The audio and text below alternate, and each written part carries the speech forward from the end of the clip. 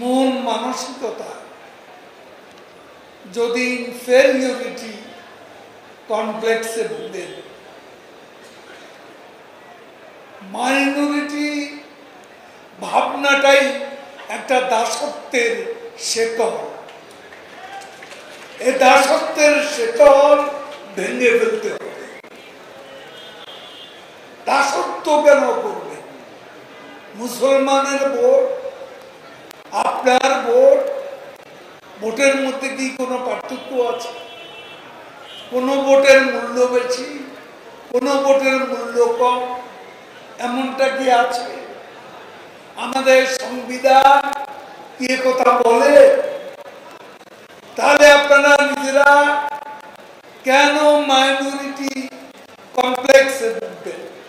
যারা আন্দোলনে ব্যর্থ, নির্বাচনে আসেনি তাদের সামনে এখন আর এইসব অপপ্রচার, তারা একটাই তাদের ঢাল। যখনই আওয়ামী লীগ ক্ষমতায় থাকে, তখন তারা ভারত বিরোধী অপপ্রচারে লিপ্ত একটি মহল এখনও সেটা করছে। আজকে মানুষের কষ্ট দ্রব্যমূল্যের জন্য ভোগান্তি দ্রব্যমূল্যের জন্য। এটা বঙ্গবন্ধুর কন্যা যথাযথই অনুভব করে এবং এ ব্যাপারে তার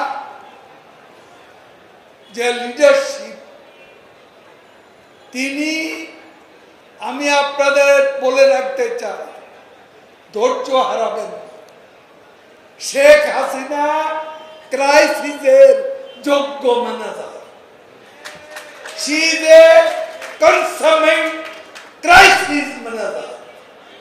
তার উপর আস্থা আমাদের সীমান্ত সমস্যা বাস্তবায়ন ছিটমহল বিনিময়, শান্তিপূর্ণভাবে সম্পর্ক ভালো বলে প্রধানমন্ত্রী শেখ হাসিনা ভারতের নন্দিত প্রধানমন্ত্রী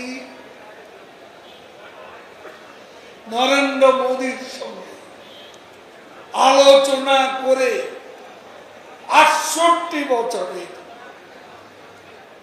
যে সমস্যা, এ সমস্যার শান্তিপূর্ণ সমাধান করেছে। আমি এ কৃতিত্ব অবশ্যই দেব।